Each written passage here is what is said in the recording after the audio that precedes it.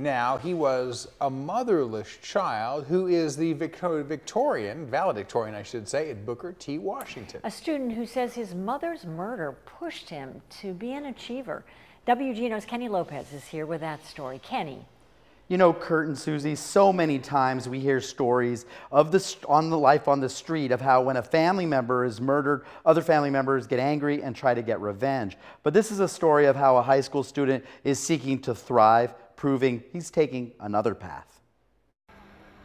So my mother was uh, hit with, with by a stray bullet May 29, 2012, sitting at a red light.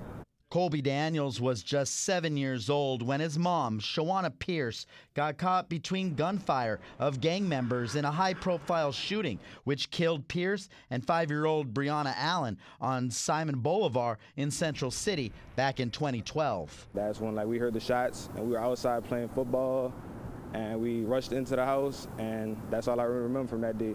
Now, 11 years later, he's reflecting on how he took losing his mother and turned it into motivation to succeed in her honor. My mom meant the world to me. She was like one of, she was my best friend at the time. Like I remember she would always say I was her dude. Like I, I kind of felt like I was the favorite. Colby's proving his success. He's this year's Booker T. Washington High School valedictorian. His mom also graduated with honors. A graduate of Booker T. Washington High School class of 1996, and she was top three in her class, number three.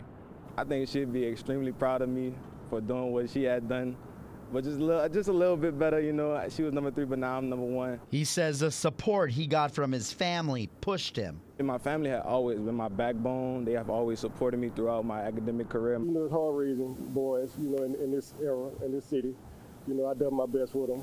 Because they could have turned a different route, but they chose something positive, um, and want to be be something more. It's an accomplishment for all of us. It makes us all feel like we did right by him, we did right by his mother. This Mother's Day, Colby says the greatest gift he could give his mom, Shawanna, is his success. All things must get better through a struggle, you know. It's just really mind blowing that I actually fulfilled my dreams of being top top of my class.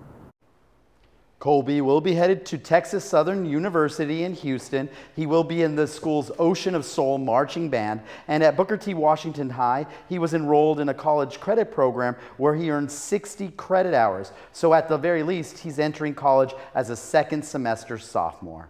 So much success ahead for him, I'm sure. Thank you, Kenny. In tonight's